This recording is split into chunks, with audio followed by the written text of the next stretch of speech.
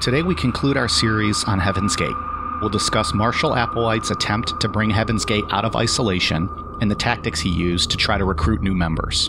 We'll also look at his plan to have the government take them out, as well as what led to him finally deciding it was time to exit their vehicles and travel to the next level. I'm Mike. I'm Ian. And I'm Dave.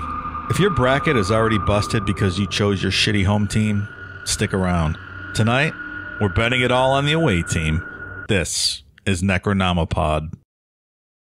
They are members of a group calling itself Heaven's Gate, a group of people who apparently shared the same beliefs in life, beliefs that appear to have prompted them to plan their own deaths. A tragedy that will impact families across the nation. The dead are from the states of California, New Mexico, Texas, Florida, Washington, Minnesota, Utah, and Ohio.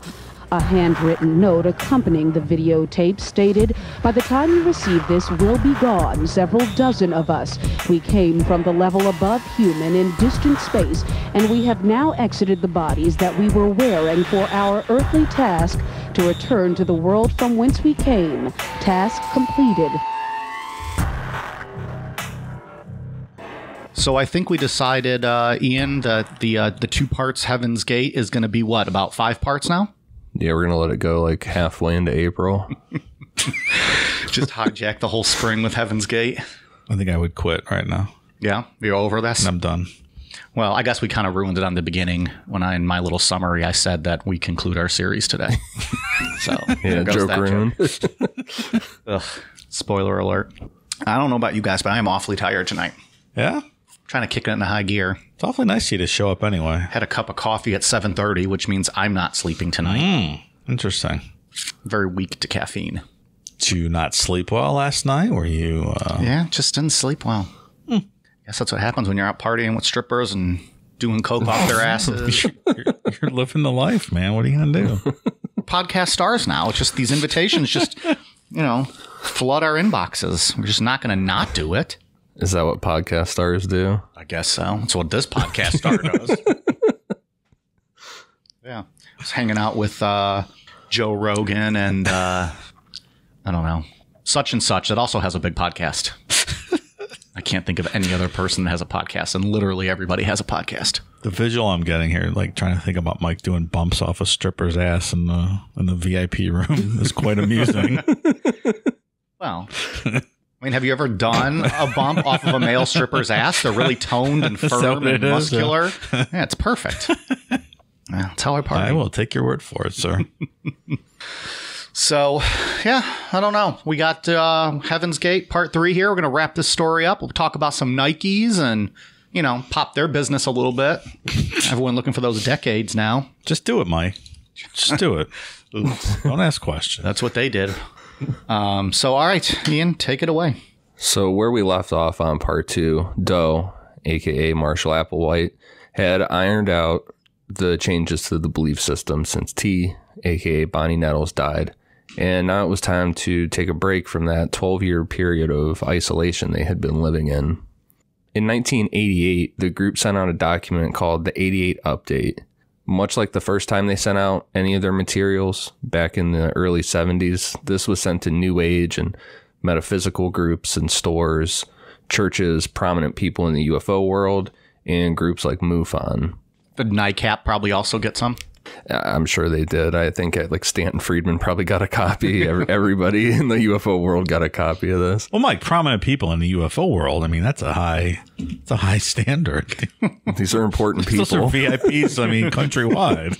Dang, you're tiptoeing a line, Pally. You're about to set Ian off. Do you think Philip Klass got any? Well, he's the top VIP from what Ian used to tell us. I think. I agree. He had it right.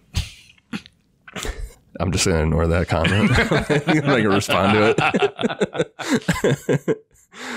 Ian's like, I'm having a good day. I had pizza that was half cooked. It's a real good good day for me. I know. I'm trying to. I'm drinking coffee now, like you are.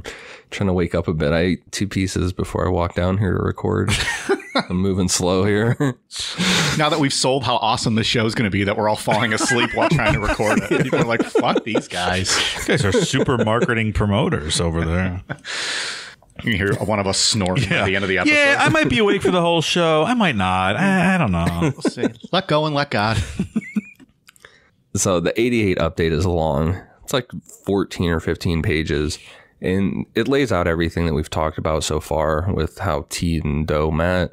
Uh, they found their purpose on life. You know, they're the two messengers sent from God, all that kind of stuff. But now there was a lot more of a religious angle to some of it towards the end. Uh, like we said on part two, Doe was saying that everything in the Bible was matter of fact. It was just aliens. They also brought up a lot about conspiracies regarding the government covering up the existence of aliens and how that actually tied into there being a conspiracy to keep people from getting the information that Doe and the group were trying to get out. Like those two things were connected. Sounds a lot like uh, Andrew Basiago. Is that his name? The uh, Oh yeah, Project Pegasus guy? Yeah. Yeah. I'm going to be covering this alien Bible uh, nonsense. I I don't was, I was searching for the right word to use on, a, on a future Bible Babble episode. This tomfoolery. Uh, tomfoolery. That's not bad. That's a good one. I'm 99.9% sure if you look at like the episode history for Ancient Aliens on the History Channel, there's a couple episodes about the Bible and UFOs. Oh, I recall watching that. Yeah. Yeah. I mean, it's uh, more believable face? than the actual stories in the Bible, so uh, it's understandable. Bible babble, folks. Bible babble. He's a resident Bible expert. That's true. Someone had to take that uh, Have at it. take that moniker. At the end of the 88 update, they attached some recommended reading for people. Um, and the ones that I found notable that I would recommend to anybody that wanted to read about UFOs, uh, they had the Roswell incident by Bill Moore on there. We talked about that during the uh, Majestic 12 episode. Bill Moore doing his uh, investigation with Stanton Friedman. Like that's where the, the grays came from, right? Didn't he essentially invent that term? Or am I thinking of someone else? I went out on a limb here and I really didn't know what I was talking about based on Ian's Mike. I I mean, the Greys, that would have been Betty and Barney Hill. They were the first ones to give that a, the, the, the Like the depiction of description- yeah, the Grey. description of Yeah. them. Yeah, I'm thinking of something else. Uh. Communion by Whitley Strieber. Dave, you know Whitley. Yeah, I know Whitley. He took over Dreamland after a while from art. He was always on Art Bell. Oh yeah. That's an awesome book too. I, I want to do a whole episode on Whitley Strieber and his alien abduction stories. That's a fun one. And then Night Siege by J. Allen Hynek, which that's about the Hudson Valley UFOs, which that's on the list to do an episode in the future. We've talked about Hynek a few times too in the past. Yeah, there's only like a core group of guys we're ever going to really talk about with UFOs. It's the same. It's a reoccurring uh, cast. Those important VIPs across the country, the influential UFO people. Yep. I noticed no Philip Klass novel on that book or on that list. No. I would imagine they, they don't like him very much. He's the bad boy of the UFO world. Yeah. yeah. Tells it like it is. He doesn't fluff it up for the, the listeners and the readers. The one thing I found really funny when I was reading through the 88 update and I got to the end there and I was like going through all this, their recommended stuff, is they recommended um, some articles and things that, that people should look into. Ed Walters down in Gulf Breeze, Florida, and all his UFO sightings. One of the funniest shows we've ever done. Super authentic with that model they found in his uh, attic a couple years later that exactly matched the photo. Every time we talk about him, I always think of how he like rolled out, or according to him, he rolled out of his truck on the side of the highway and like then rolled underneath of it and had his shotgun holding onto it, laying under the truck. Yeah, the way he tells it, it's like a it'd be like the greatest movie of all time. So this was pretty much ignored. Didn't attract any new members. So they went back underground for a couple more years. And we've talked about through the series that Doe struggled with his sexuality and that sex should be avoided at all costs. Specifically because once you transfer to the next level, the alien being you would become would be genderless. So there's no need to have sex. You just get rid of that. We're going to talk about this more later in the episode. But this next detail seems to be a big factor in what's to come. There was a longtime member of the group named Dick Joslyn, aka Dinkody, Is your dick Joslyn, or are you just happy to see me over there? It's uh, it's got to be one of the Moving around a bit, I see. greatest names of all time. Dick Joslyn. Should probably go by Richard there, Pally. Guy's born to be the pocket pool champion of the world, right? He's already got the name. so he, he joined early on and uh, he joined in 1975 he was a really good looking younger guy was in did some acting and he was gay once t died dick joslyn became one of doe's closest followers like kind of like an inner circle type member around the time of the 88 update coming out doe pulled dick joslyn aside and it's like there's a problem my vehicle is attracted to your vehicle and Doe just shut him out. Poor Dick. I mean, my vehicle is attracted to Megan Thee Stallion's caboose, so I completely understand this. Gonna park that vehicle in her garage. Uh, this was really devastating to Dick Joslyn because he was a really committed follower, and Doe just basically shunned him. And it event- thankfully for Dick Joslyn, he became disillusioned and left the group around 1990. He's thanking his lucky stars, huh? It's tough being hot. Didn't your frat almost uh, expel you, Mike, because you were so hot taking all the girls, right? They started making you take estrogen or something. Calm you down a little bit. It was my nickname in college was Dick Joslyn. Due to the group shrinking to under 30 followers, in 1991 and into 1992, the group reemerged for about four months and they bought 14 hours of airtime to air a series on satellite TV called Beyond Human. During this series of lectures about their beliefs, Doe started alluding to the year 2000 and that it would bring the end of everything and their exit would happen to the next level. Again, they were ignored. This didn't get them any new followers, but it did bring a few old ones back to the group. I mean, as far as cult guys go, he's not real. It's not really on the successful side of the business, you know. He has trouble attracting people with these ideas. It seems.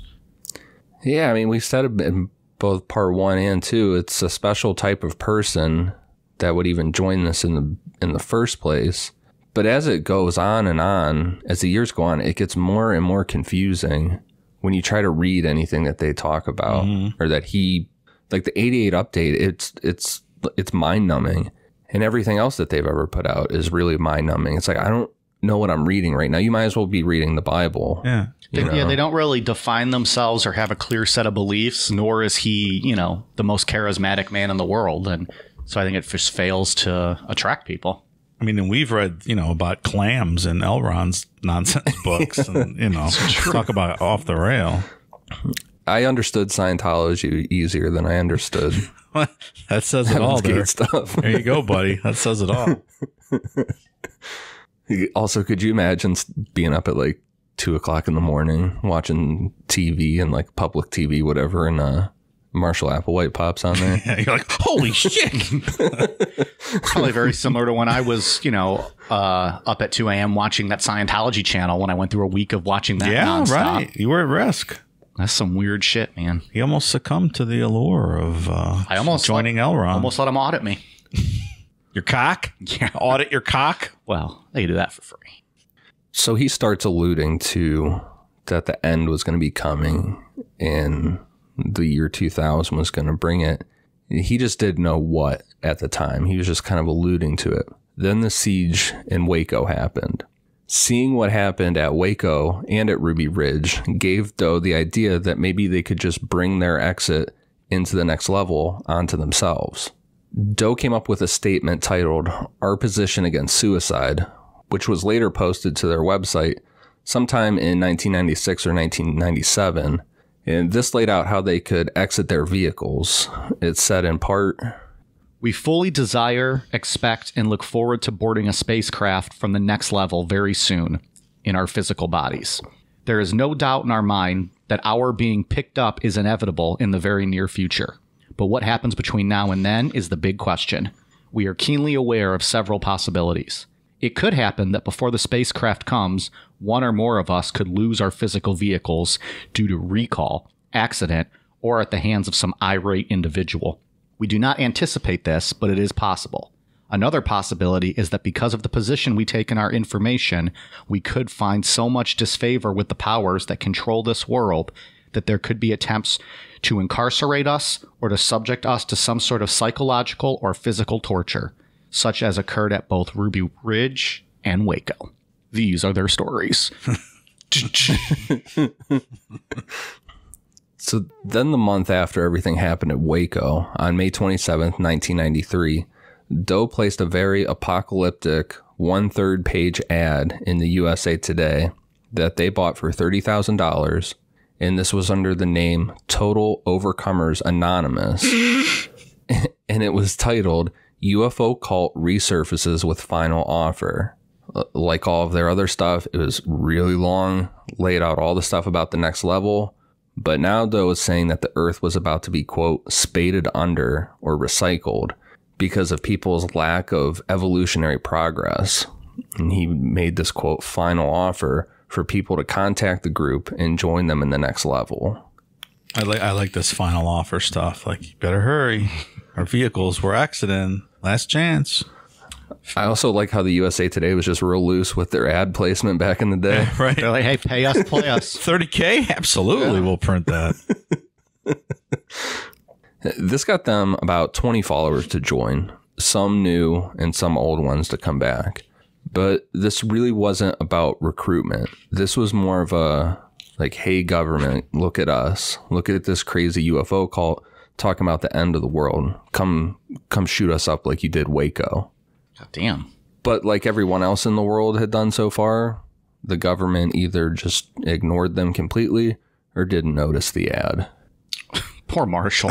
He can't, just can't- to save himself, he can't get anyone to pay attention to him. Worst cult leader ever. Yeah. Is it really that hard to get the attention of the government? I mean, there's a couple of surefire ways or things that if you do, you're sure to be on their radar going forward. You thought by just speaking this nonsense Yeah. that they were going to be like, oh, we need to go shoot them up. right. like, like Ian, for instance, with that pizza pic he posted today, like he's on the NSA's culinary cunts list or something. Culinary cunts list. I've been flagged by the NSA. Like, this guy has no taste at all. How's he operating out there? Jon Taffer is going to come to his house and just say, shut it the fuck down. The pizza's raw. just a giant Lunchable over there. the FBI did have a file on Marshall Applewhite, but it was only a couple pages long, and it was only made because of family members of followers went to the FBI for help. The file basically says there's nothing going on there. People who follow him are adults; they can do what they what they want. It's they didn't give a fuck about Marshall Applewhite. He's not doing anything. He's just a weird UFO guy. You could say that same thing about half the influential UFO VIPs across the country. In 1994, they went back out on the road again, trying to recruit and spread their message. But again, they were met with rejection. We're getting the band back together, man. They're out on the road. Reunion tour. See that? No, that would have been good. Heaven's Gate, the reunion tour. Sell T-shirts with like the dates on the back. It's like the Blues Brother remake, but with Marshall Applewhite. Yeah, that would be all right. They videotaped a lot of these public meetings that they held, and the questioning and kind of heckling they got was brutal. There's even one guy in a video where he's in the audience and he remembered them coming from the 70s and he was basically like yeah weren't weren't there two people here before named Bo and Peep and they said there was a UFO coming to pick them up did that ever happen and He's like, "Did that happen?" Because uh, I'm talking to you. That's really funny. Hey, Yeah, uh, like how's he- the mothership, Doe? Fucking trolling them. That's great. I love it. some of it's uncomfortable too because there's there's one where this young guy was sitting in the crowd and he's like i'm confused i don't know anything more about what you've talked or what you are than i did when i walked in the door and it's just like brutal questioning just complete complete failure Oh, poor Marshall. So with all these failures, Doe held a group meeting and asked if anyone would be opposed to willfully exiting their vehicles. And he brought this up, up all the way back in 94. He spun this as it wasn't truly a suicide. It would be suicide to stay on Earth and pass up the chance to enter the next level. He wasn't saying that they were going to do it that very second. It was just a feeling out question. Like, if we get the sign from the next level, would everyone be willing to exit their vehicles? Well, I guess they were all on board because that's your cue to get the hell out of there. If not, right? Yeah, I think uh, if I remember correctly, five people left after that meeting. Oh, that's like half the group. It's probably some of those newer people. Like, yeah, They're like, uh, what? What's this now? Yeah, wait a minute. what happened? My uh, vehicle? Uh, what? What's this? In 1995, they went back into seclusion, and the group lived in a rural part of New Mexico. They bought 40 acres of land and tried to build a compound, which they referred to as the Earthship. They used tires and wood to build it. Doe was hoping to start a monastery with this, I guess, building, compound, whatever you want to call it. But they weren't really the building type people. And it was really hard just to fucking build a This compound. pile of wood like, straps, you mean, Ian? yeah. and tires. So, like, does anyone have any get nails? Not exactly planners, are they? this guy's ridiculous. So, and as the weather started getting cold, and they just gave up on this idea and went back into living in high end houses in the San Diego, California area. It sounds better. yeah, I don't understand where this idea came from, but Ian Jeffrey Epstein had a big ranch out in New Mexico. Is there any chance that there is there a relation here to Jeffrey Epstein? You know how many fucking questions or, or requests we're going to get now to cover Jeffrey Epstein? Uh, speaking of Jeffrey Epstein, I've been watching that docu series on Netflix about him. It's pretty good. Is it? Yeah, I like it so far. It's interesting. And that's the closest we'll ever get to covering Jeffrey Epstein. damn. That's how he says that. So, after all these failures, the group turned to the internet as a way to spread their message. One of the biggest misconceptions about Heaven's Gate is that they were an internet cult just because they had a website. Their attempts to recruit via the internet were also failures and met with rejection. Looking for one successful thing this cult has done, Yeah. other than they tried to kill themselves and they did succeed in that. They open a lemonade stand or something? Something to make a little bit of money. Well, they probably bought the supplies, but then they were like, "Well, we don't know how to do this." Do you, any- anyone have a lemonade recipe? yeah. The archive that I found of one of their posts was from September 26, 1995. But they could have started doing this earlier in 95. They hopped on Usenet, which was, if I'm correct, the first message board on the internet, or at least the most popular at the time. Yeah, back from the first days of the internet. Also, if I understand it correctly, it's kind of like 4chan without the pictures and not as scummy, where you can just talk about whatever you want. It's separated into categories like boards and stuff, right? Yeah, that sounds right. All that stuff's still active, I think. Some of those es- Usenet still esoteric original internet people are still on there using it. With their dial-up connections. yeah. I stick to uh, a 14.4 baud modem when I log on to the Usenet groups. Doe started spamming with what was pretty much a manifesto titled Undercover Jesus Surfaces all over Usenet boards that would pertain to them. So, like religion, Christianity, sci fi, stuff like that. But when he was posting on sci fi boards, it was titled The Real Q and ET Speaks Out. Man, how do you not click that? Clever. You're like, I got to hear what this guy has to say. these posts these postings were extremely long again laying out the belief system but there was a lot of talk about quote laying down our bodies and alluding to something like waco happening there's a section that i pulled out that i thought was it's kind of lengthy but i thought it was relevant to read because the language was, was a lot more aggressive than what anything that they had previously said before. How is this laying down of our bodies to occur? If you do recognize me and choose to look for to me for guidance, I would recommend that you purchase firearms, get comfortable using them, or partner with someone who can, and somehow position yourselves separate from others enough to not be vulnerable, so that you might establish a relationship with me. protected from interference as far as possible.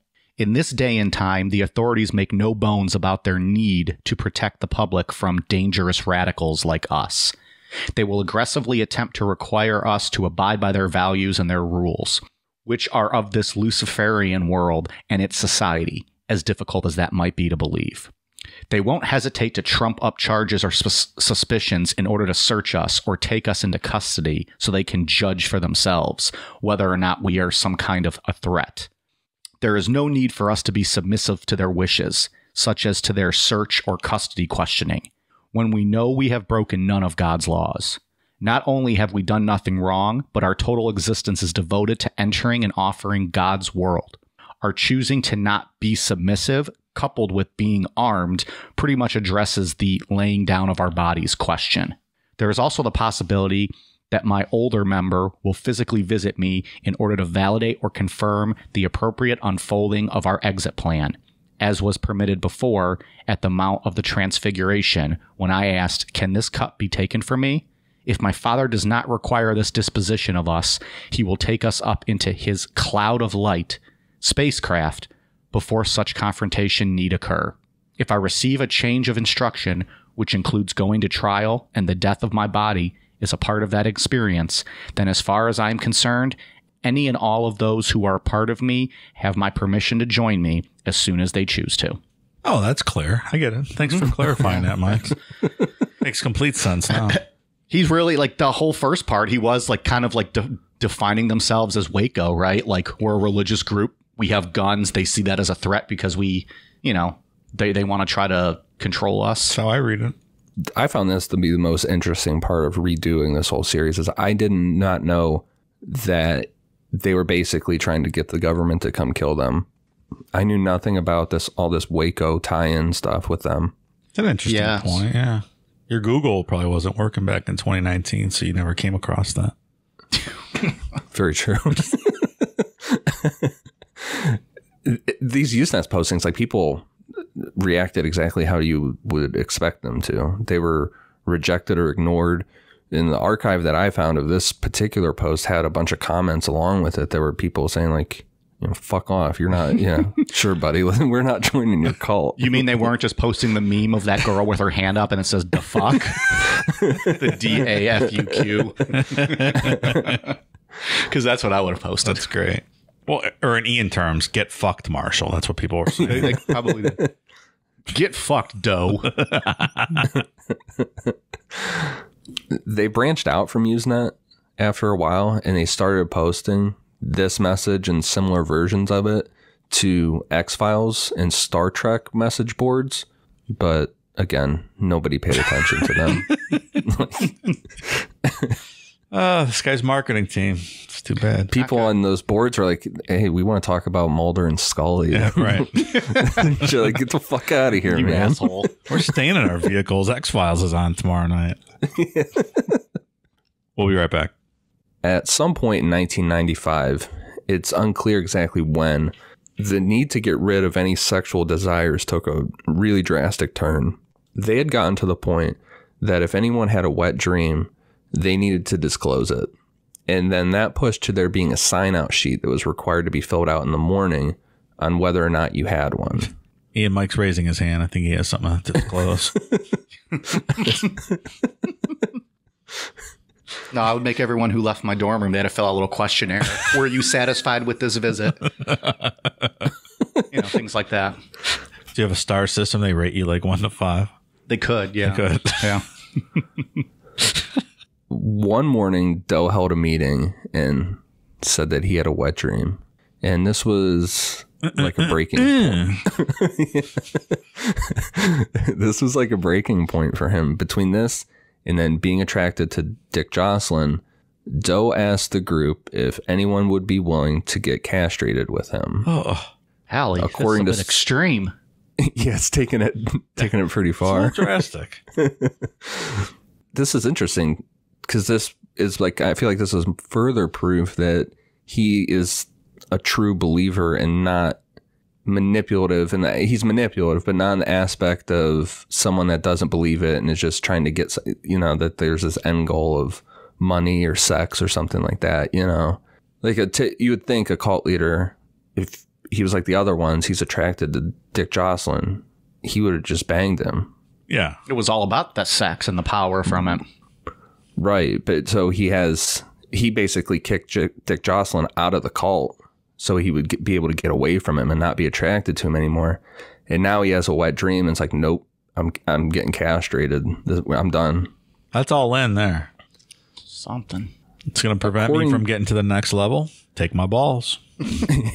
Gotta get there. The T's waiting for me. According to some sources, it wasn't Doe who suggested the castration during this meeting. It was Soroti, aka Stephen McCarter. He he brought up the idea, and then it just went from there.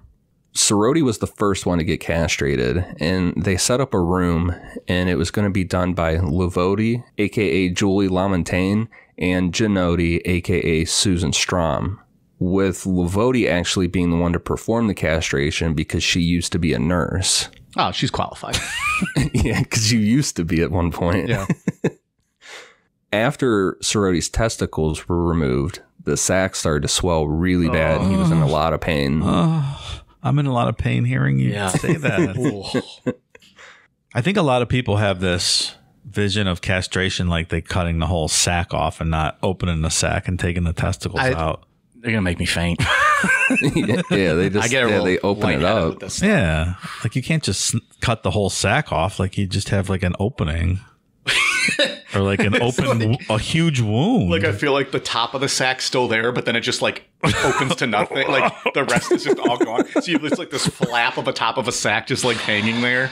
oh, oh, I'm getting a little lightheaded. I really am getting a little woozy. hey, Mike, you want to hear a castration joke? Oh, okay. A lot of people think castration and vasectomies are the same thing, but in actuality, there's a vast deference to the procedures. Oh man. What an inappropriate dad joke. I was googling uh, castration to read about it before this. Really? Were I ran across that joke. I go, it's really funny. According to defector and still dedicated believer Sawyer, which Sawyer's not his real name, they panicked because they could get in trouble. So they called a local Catholic church to see if they had any experience in castrations and what to do. well, of course. Who else would you call?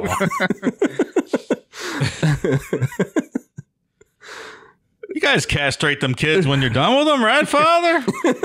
God damn. You guys do castration. Oh, sorry, our castration guy's out this week. You'll have to call back next next week. Oh, Catholic Church. Okay. Uh, According to Sawyer, the priest basic was like, yeah, I don't know what you're talking about. Like, I don't know what to do. yeah. Because they were panicking. I mean, the way that the story is told is he was in a lot of fucking pain and it was really swollen. Oh, And they didn't want to get in any trouble by taking him to a hospital Right. because, you know, but they gave in and took him to the hospital. And Sawyer says that he and Genotti then went to a bridge nearby and threw Soroti's testicles over into the water to like damn. hide evidence. it's the way the ball bounces, I guess, sometimes. I like to think it like plops in the water. It's just like bloop, bloop.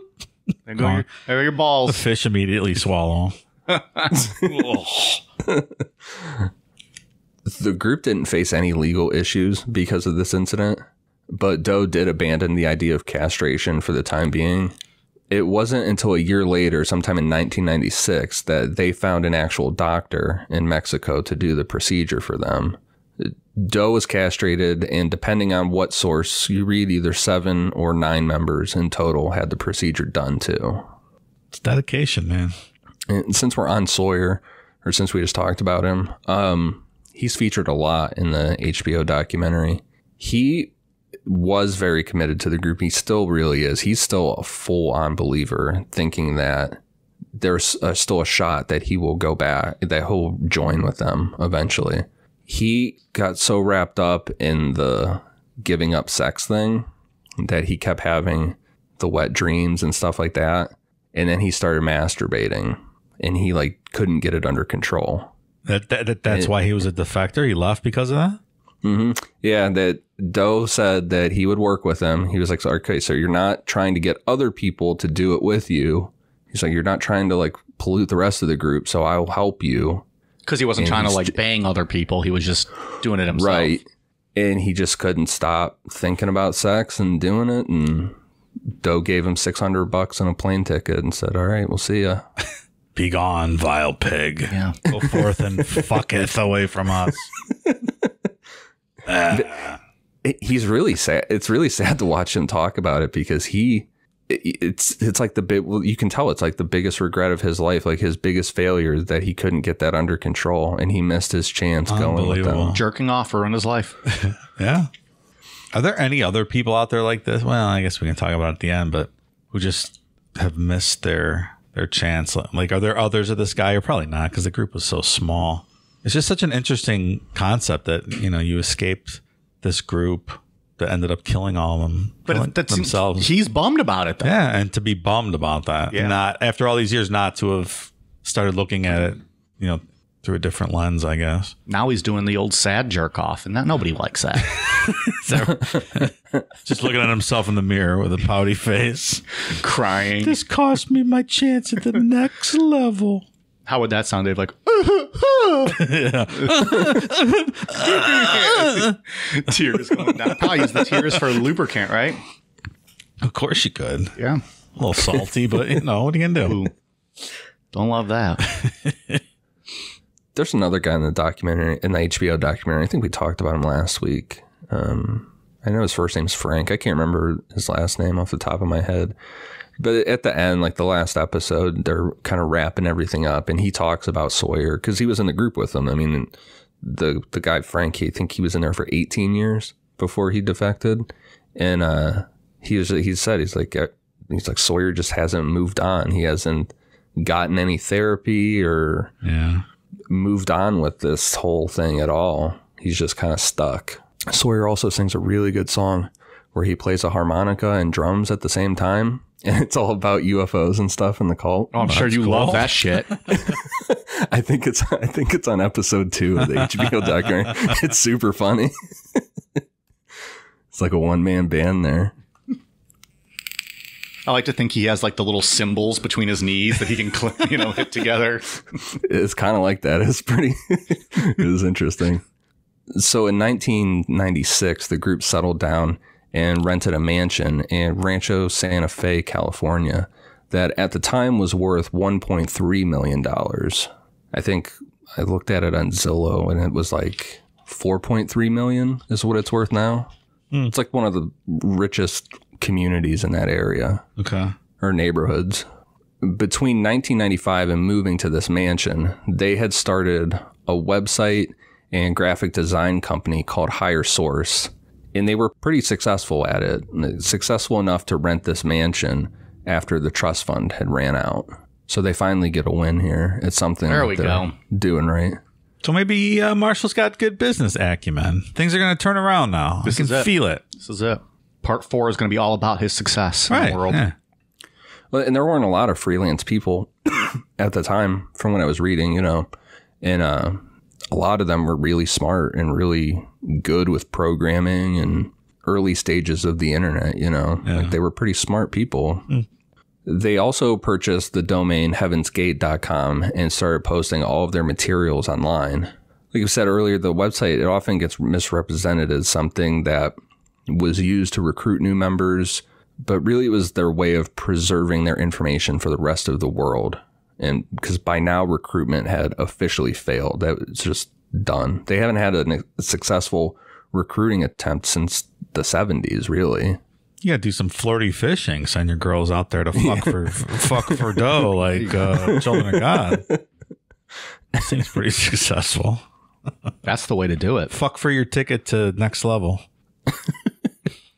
The website also gave them their official name that people know them as now. They never called themselves Heaven's Gate. Uh, by this time, they had abandoned the human individual metamorphosis name, and then that other, uh, what, what did we say earlier? TOA, the Something anonymous. Offenders Yeah. anonymous.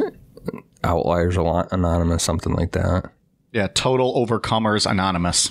yeah, what does that? What does that even mean?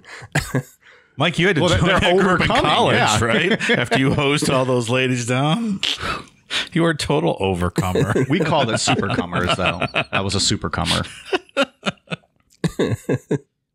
They- They gave up on all those names. By this time, they were just calling themselves the class. And Heaven's Gate was just the door that would open to get into the next level. Doe had brought up willfully exiting their vehicles back in 1994. And this whole time, they had been trying to provoke the government to come and attack them, or they were waiting for a sign, or what they called a marker. And then they got their sign on November 18th, 1996. dun dun dun. It's very ominous. I would say it's no surprise that the followers of Doe were regular listeners to Coast to Coast AM and Art Bell. Like that was their nightly routine to listen to him. Didn't we say Ian would probably have joined this cult? Didn't we say that on, on one of the first two episodes? I mean, as soon as he saw a UFO, Makes he's like, sense, I'm right? going to that. I'm going to go to their seminar, check it out. On November 18th, 1996, a guy named Chuck Shramek from Houston called Art Bell with some news that he had he had taken a photograph that showed a mysterious Saturn-like object behind the Hale-Bopp comet. He estimated that it was up to four times the size of Earth. When he called the show, Shramek said a photograph of the comet he had taken four days earlier clearly showed a bright object with a halo around it like Saturn. And when he checked a, a map, a star mapping computer program, it showed that no star existed there. So there shouldn't have been anything there. Uh oh. Obviously, Art rolled with this because why not? what do you think it is, caller? Have you ever heard the clip of him talking about this? You know, I like, "Well, don't is it, specifically remember this. What's back there? Yeah, because he had this guy, this guy on next, the next like this professor, Courtney Brown, and then when he gets him on the line, he's like, "Professor, what the hell is that thing?" so this Courtney Brown guy that called in the next night was the director of the Farsight Institute in Atlanta. Um, he, I, I guess the Farsight Institute is like this um, another metaphysical kind of thing, UFO kind of stuff, I guess, uh, because he claimed that three professional psychics that were associated with his institute had used remote viewing to detect that the object behind the Hale-Bopp comet was a metallic UFO with aliens aboard. Oh, and here I thought Far Side was just a NASA department or something, but no. No, Courtney Brown is the professor of something that employs psychics to Yeah, do remote yeah. viewing. yeah. they were sold on this. This was like, like, oh, this is our sign. So the group went out and bought a high powered telescope, but they didn't see anything behind the comet. So they returned the telescope back to the store and said it didn't work. Fucking thing's broke. We can't even see it. There's an interview with the guy that worked at the tele at the telescope shop or whatever, wherever they bought it, and he's like, "Yeah, they came, they came and returned it, and they said it didn't work. They couldn't see what they wanted to see." And He's like, "Well, what do you mean it didn't work? Like, what were you looking for?" And they said the Hale-Bopp companion, and then he just walked out and left. That's great. So th- this whole UFO thing, you know, UFO following the Hale-Bopp comet was pretty quickly proven to be a hoax, but that didn't matter to Doe and the group. This was still a sign that they had been waiting for. When Doe met T in 1973, the Kohoutek comet was visible from Earth, and now in 1996, the Hale-Bopp comet was visible from Earth. So this was officially the sign. Okay, we'll take your word for it. with that, they updated their website with the flashing red message Red Alert Hale-Bopp brings closure to Heaven's Gate, and they started preparing for their exit. They started to open up a bit through December and into 1997. They had a Christmas party in December that they filmed where they were singing songs and had a talent show and were like baking. It looked like pies and stuff. Like they they seemed extremely happy, like hugging each other, laughing. Like if you watch those videos and you didn't know what was going to happen in a couple months, you would never think that these people were going to commit mass suicide. It's creepy. And it's very creepy. in February 1997, they started doing a bucket list kind of a thing. They traveled to Las Vegas and stayed at the Stratosphere Hotel. They went to Cirque du Soleil and recorded their winnings at the slot machines and gaming tables at $58.91. Ballers. Uh, Big winners. They, they meticulously tracked everything in this cult. Like they wrote down dollar amounts for everything. Everything was kept track of. They went to some theme park and rode a free fall ride called the Big Shot. That cost $123 for all of them to to ride it. That's a hell of a deal. yeah. Um, and then a few weeks later, they went to SeaWorld and to the theaters to see one of the Star Wars movies. You wait team. It's having a good time. Going out with a bang. Then in March 1997, they went into deep seclusion. They cut off all their clients from their business Higher Source. They basically sent out a message to them, um, said the Hale Bopp Comet was bringing a close to their business and they would not be working for them anymore. Which, if you were a client, you'd be like, what the fuck's the Hale Bopp comic got to do with you not making my website anymore? but around this time, Neody, aka Rio D'Angelo, went to Doe and told him that he felt that there was something he needed to do outside of the group. I think Rio D'Angelo was thinking on the fly here. Because he was he was a newer member. He was not this guy had not been in for very long. He told Doe that he didn't want to leave the group, but he had been offered a full time job on the outside working for Interact Entertainment, which was a company that often used Higher Source for web design. After a couple days, Doe told D'Angelo that he had talked to T, telepathically, of course, Uh, of course, And- Ian. We know she's already left her vehicle. Duh. and he felt that it might be part of the plan. That D'Angelo had been chosen to tell the rest of the world about the group's message. Good move, D'Angelo. After D'Angelo was given the task, the group moved forward with their plan. They purchased matching black shirts and pants.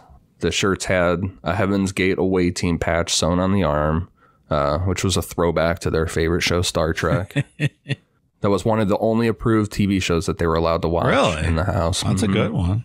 Yeah, I just read- basically all they watched. William Shatner, Captain Kirk, just turned 90 this week. You would think I would have gotten into Star Trek at some point in my life, but I have never been able to Huh. get into it. Yeah, I like the original one. Then they all went out and bought matching black and white Nike Decade shoes. There was a lot of theories, like back, like you read news news reports from back in '97 about why they were all wearing the same shoes. Like if there was some meaning to it, and then eventually it came out that they just got a good deal on them because they bought them in bulk. Thrifty till the end. had- very, very good. What? Then Nike stopped making them, right? Because of all this. Yeah, they pulled them and they never made them again. They've made some similar ones that look similar to them, but the as far as I know, the official Nike Decade shoe is was done. Uh, then they headed to a local restaurant and all had the same meal, which was a chicken pot pie. So they all wearing the same outfit. They all walk into the restaurant and they all order the same meal. Well, were they wearing them I- at that time? The way it says. I don't. I'm not. sh- I don't think they were wearing the outfits at the same time. Damn. Would have made it a lot better. Yeah. But there was an in, there is a news interview with the, the waitress that was uh, serving them, Huh. and she did say it was really fucking weird how they all just all kind of looked the same and all just ate a chicken pot pie and that was it. That was not a great final meal on Pop Pot. Well, it's not their final meal. It's their final restaurant meal, right? Yeah, Well, well, I mean that's just- living it up to them. A chicken pot pie. They've been eating like oatmeal and shit for the past twenty years. It's true. This is this is big time for them. I enjoy chicken pot pie. I don't want that as my final meal. No. On March 17th, the group filmed their exit statements, which you can find those on YouTube. And that's in the VHS. When I bought that stuff from them, that's part of the VHS tapes. Has some of the exit statements on it. It's a, it's a weird mixture to watch, though. Some people seem really happy. Some people seem really sad. Like maybe they don't really want to do it, but they're just going with the flow. W- One lady does, really seems like that. Hmm. Are, is this outside? Were they sitting outside? Yeah. Yeah, I remember watching this.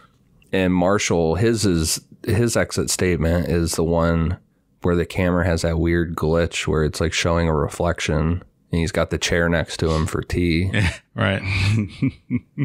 and he's he's all choked up you know he starts talking about T and points to the chair he says the chair is for her and stuff and he's crying like it's pretty intense to Yeah. watch him I think we used that picture on our socials this past week. You could check it out. the, the one thing about the exit statements, even the ones people that are really, it, it doesn't matter if they're really happy or cry, getting upset talking through them, they all really mimic the way Marshall Applewhite or Doe talks. It's like the same kind of cadence of speaking. Do they And they also get do? do they do the no blinking also that he's famous mm-hmm. for? No, there's a couple members that have that really weird eye thing going on, but it might just be because they're really like don't eat very well, like Yeah. they're real sunken looking. Yeah. because you know like the one girl her name is gail can't remember her last name she joined the group she was really young she was the youngest member that died there she was in her 20s she joined way earlier if you see a picture of her from like right before she joined the group to her during the exit interviews it's crazy it doesn't even look like the same person at all Really? she's so sunk in looking. Her hair's all cut off, you know, no makeup, but yeah, her face is just real sunken and it's very it's really creepy to look at the before and after pictures of the members.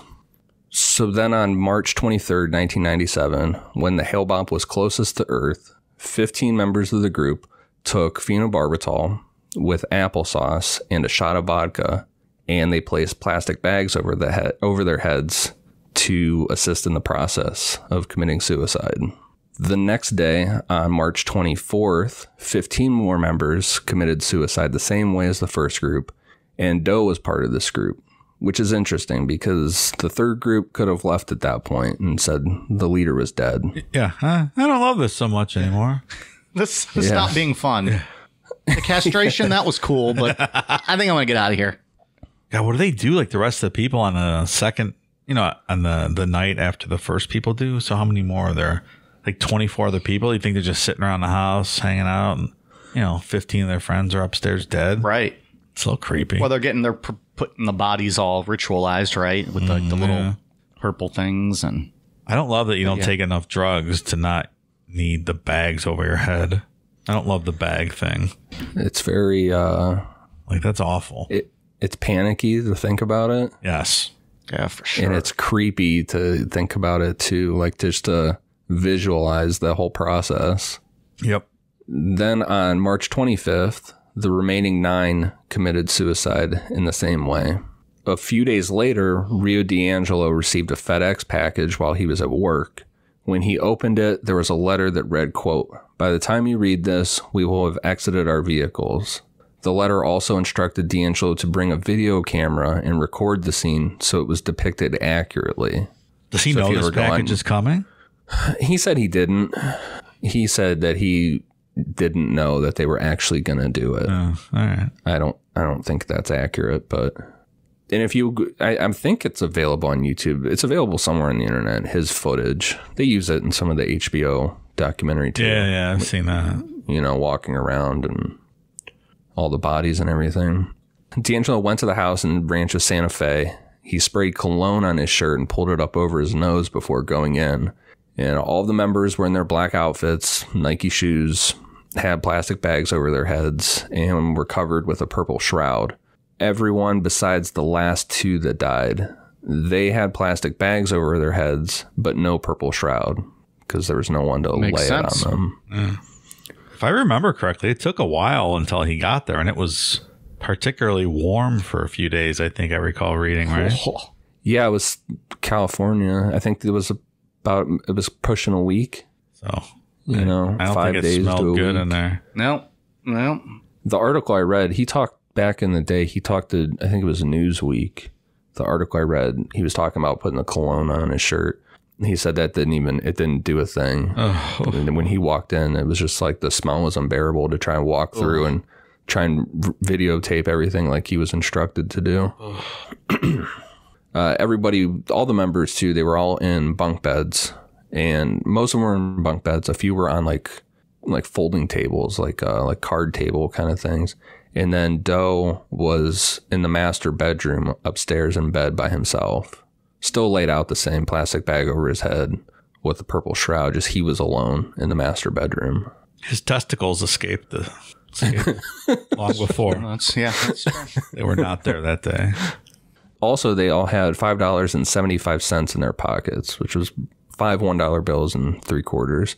Um, I, I always had heard or read a couple different places that it was a joke about the price of a bus that they used to take. But according to Sawyer, it was actually from a Mark Twain story that they liked, where Mark Twain said five dollars and seventy five cents was the price to ride a comet to heaven. Did they account for inflation? Because I mean, five seventy five back in Mark Twain's day. I don't know if they had enough money. You know, I think the comet business stayed pretty consistent. yeah, you think so? it's like, sorry, it was six bucks this time. You're twenty five cents short. None of you were coming aboard. Sorry. D'Angelo then called in an anonymous tip to the police, and the rest of it is kind of history. At the end, it was 39 members, 21 women, and 18 men between the ages of 26 and 72. Most of them had been there from the very beginning, you know, from, from the 70s. God, just imagine how long that is. Ninety seven. They've been there since the seventies. Right. Yeah, I I can't remember her name. Cult expert. Uh, she was talking about the the people that had been in the group for the long like the longest time. You know, all that you know what seventy five till nineteen ninety seven. That it was like they had been taught to not be a person for so long. You know, they they had given up their lives to the point of not even being a human anymore. So mm-hmm. it really wasn't that hard to just give up your body. That's interesting. That makes sense. I mean, you got to have some level of dedication to being there twenty something years. At least three former members committed suicide themselves in the months after the mass suicide. On March 6, 1997, Wayne Cook and Chuck Humphrey attempted suicide in a hotel in a way similar that was used by the group. Uh, Wayne Cook died, and Chuck Humphrey survived this attempt. Um, another former member, James Perky Jr., committed suicide by a self inflicted gunshot wound on May 11th. Chuck Humphrey, who survived his first suicide attempt, uh, killed himself in Arizona in February of 1998. Were these uh like these former members? Did they were they kicked out? Did they leave on their own? Like I'm wondering why they're former members and yet they're still committing suicide. So Wayne Cook, his story, his individual story is actually really inter- interesting. It's featured a lot on the HBO documentary. He and his wife were both part of the group for like the long haul, and they had defected a couple times and then came back. He had left during the um, the castration thing pushed him out. Ah, Yeah, I could see that. his- yeah, yeah. but his wife stayed. His wife was one of the ones that died. Um, so I don't know how much of his Damn. is truly believing in it still, or the fact that his wife was now gone. You know, I don't know. Yeah. He had been in there since the seven late late seventies, early eighties. You know, he, I mean, he and his wife were, were long haul people. Same with Chuck Humphrey. And and we we really didn't talk about it. And I wish we would have. That they allowed members to come and go. Really, I think There we was mentioned no- that like in the first episode. did we? I can't remember if we said it or not. Like you could go. He would. Marshall Applewhite would give you money to leave. There was no thing like Jim Jones couldn't stand people leaving or defecting. You know, he's like, if you don't want to be here, don't be here. Or he even kicked some people out. Like if they weren't following the rules, he's like, all right, you got to go. True believers only. I, I guess with these guys though, don't they realize that Hale Bopp's not here anymore? How do they expect to meet everyone? yeah, I mean, This Hale Bopp uh, FOMO, but it's gone, dude. You missed it. It'll be back in like the year forty-two something. So when I was talking to them, where did I get to that question? Okay, because the my, my first set of questions to them, they were talking about Doe, like they were still really talking about following the teachings. And I asked them if they believe that he will come back. And they said he will come back. He had already come back to Earth five times before. and I asked um, I asked them if T was going to come back too. They said they didn't know if T would come back. All right. So they're just waiting on Doe. Yeah, seems like it. And they as far as when you would be ready to enter the next level or when you how would you know if Doe came back? You would just know. You Gotta have faith. You would have the Gotta have faith. Yeah. Yeah. Yeah. And like we've talked about a bunch and, you know, just talked about the emails that I had with them. It's still very active. It's unchanged since 1997. You can email them and they'll send you their the book if you want. I think it's like 30 35 bucks or something. And I actually did figure out who runs it, who the two members are, Intriguing. But I'm, I'm not going to out them. You goddamn cock tease. I'm sure I I'm I'm 100% sure I'm not the only person that's figured that out. It was actually easier than I thought.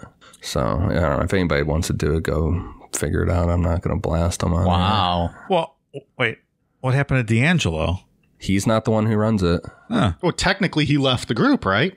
Do we know what he's up I, I don't know now? if he's still if he's still a firm believer. The people who run it now, the two that run it now are very much believe it. You can tell the way they answer questions. They had one ran out on a coffee run, came back, and everyone had already killed themselves. I'm like, well, fuck. Oh the hell are we supposed to do now?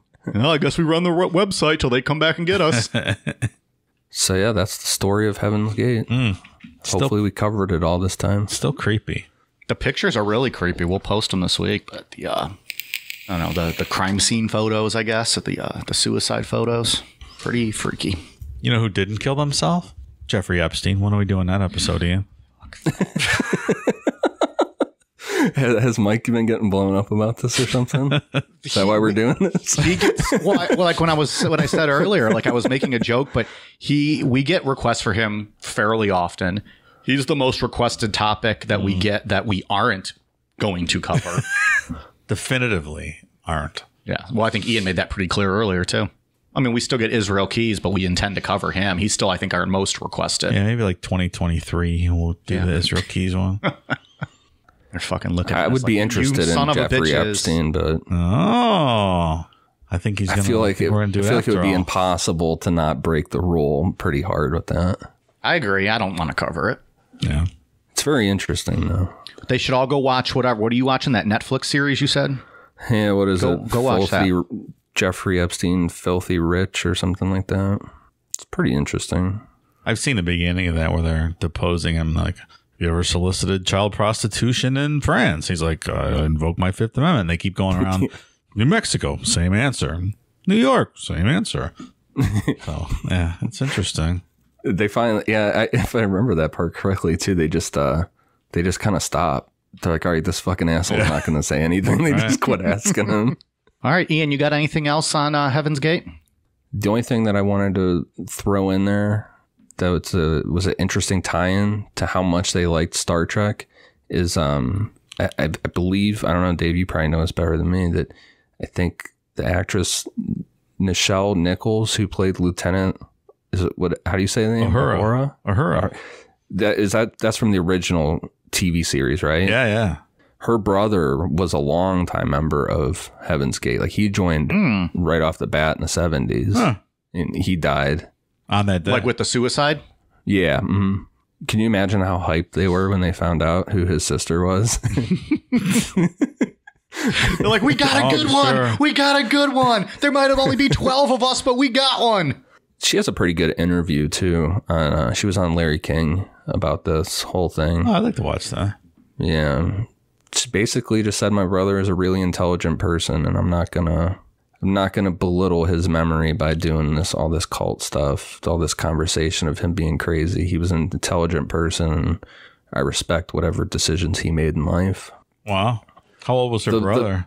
I don't know, I'd probably say 50s, maybe. Something like that. The media coverage after this was pretty pretty wild too. Like the media really drug all of all of them through the dirt as just crazy cult people. Like there was headlines calling Marshall Applewhite the gay guru on the front of newspapers and stuff. Like just real wild stuff. Then Saturday Night Live did a thing like the weekend after it happened with Will with Will Ferrell as Of course. uh, Marshall Applewhite. Oh man. Like I- those pictures really are so, brutal. The, the suicide pictures are so wild that I'm sure it was like a gold mine to the media. Just having be able to Oh yeah. print those and Like the the um, there's an expert on the on the HBO documentary that was talking about that and all the media coverage coverage of that stuff. Like the media, he said it was just a overall issue that he had with the media in general, but that they're just going to grab stuff for headlines. They're not going to Right. dig down into the nitty gritty of the story and Much like we just did the past three weeks. just see that anybody can fall into a cult, Well, you know, depending. Dave, your final thoughts? you got some thoughts? No, it is what it is. Like I said, I'm trying to have more empathy for cult victims. So very nice I think it's very sad. Some of these people had to cut their balls off and then kill Like themselves. that needs to be the your sign to get the fuck out of there. Mm. When you need to be castrated to stay in this cult. Like if you're gonna be next level, don't you want your your nuts? I think you need You them. don't need it I don't. You don't need them because you're not a gender Oh, anymore, right? on, Isn't that what it was? Like you're just a, a being. genderless. Yeah. Yeah. Well, There will be no sex at the next level, Dave. it's, I don't want to be at the next level then. also, fun fact we were talking about in the show, Nichols, her and Captain Kirk, first interracial kiss on US TV, I believe. Interesting. Mm, that's right. I think I read that somewhere before. Star Trek, breaking the rules. Breaking down barriers. Great show. Okay, so we're all good. Only one other thing I wanted to bring up before we wrap it up is that uh, just our final thoughts on who was the real cult leader here and who wasn't. I I think after doing this whole outline, I mean, I thought it last time, but even more this time, I, I think there's more than enough that shows that Bonnie Nettles was the real leader here, and Marshall Applewhite was her first follower. And this is kind of what happens when shit goes off the rails and the true believer becomes the leader. Hmm. It's a good point. Yeah, well, and it seemed you know he struggled to maintain any type of identity or leadership after she died. So I I 100% agree. He just started throwing stuff against the wall and nothing was sticking. It just seemed like he was looking for any way to get, get out of this world without, you know, trying to get the government to come in and kill them all like a Waco thing. Like just any reason to just to get out. Yeah, he he was struggling. Uh, that's all I got. I'm glad we did re- redid it. You feel good now? You got you got this one uh, out of the way, and you redeemed yourself. You feel like? I feel so. I feel like it. All right. Good for you, man. Congrats. Thanks. Redemption is yours. Well done. Well done. Uh, we got some patron shout outs, some brand new patrons, or look, some of these names are familiar. Maybe they're back for round two. We we redeemed ourselves in that a- area, and they're they're back for more. Um, thank you very much to Mel O, Bronco, Sean Thibodeau, Isabeau.necro.fan, Bradley, Lila Madden, Julie Blackwell, Pieces of Her Lying Everywhere, Usock Usock, uh, Nudies on the Loose at Gmail, uh, Little Titties Ain't Pretty, I disagree wholeheartedly. Everett Browder, Little Miss, Gnomesy, Tilly, Donald Minty Hughes, Emily Bosiker, Cameron Carmichael, Jesse Brackett, Candace Higgs, Mel, Travis Bolin, Aaron Orr, Kelsey Hoffman, Tim Foe, Henry Schultz, Morgan, Jody Peterson, Nicole Popplewell, Pop, Popplewell, Heather Coulard, Betty Drizzler, Alejandra Garcia, Blumpkin Blowout. Hell There you yeah. go, Dave. Party time. Brenda Lynn, Taylor A, Cleveland Robinson the Fourth, Isaac, L Rose Rohanna, Stick Figure Mike, Stephanie Paulson, Kadena Morningbird, Stephen Bullock, Brother Jay Lala, and Mason. Thank you all very much. Uh, we are at patreon.com slash necronomipod. Appreciate your guys' uh, patronage. Uh, Ian, you got anything for us? Uh, for iTunes, I have one for Sunshine Pistol and Bryn's Mommy. Thank you for the awesome reviews. Hell yeah. Thank you very much. Dave, you got anything for us? Nothing for me, my good man. All right. Uh, we are on Twitter, Instagram, Facebook, YouTube at Necronomipod, patreon.com slash Necronomipod. And uh, for the US, at least at this point, um, Amazon.com, search Necronomipod, and we have all of our merch currently available. So we appreciate you guys listening, and uh, yeah, thanks thanks for uh, listening. We'll check you next week. All right, you guys ready for a cool down beer? Cheers.